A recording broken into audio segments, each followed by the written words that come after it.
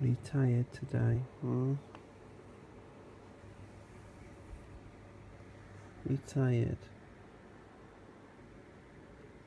I'm surprised after that mud bath. You tired yourself out, didn't you? Hmm?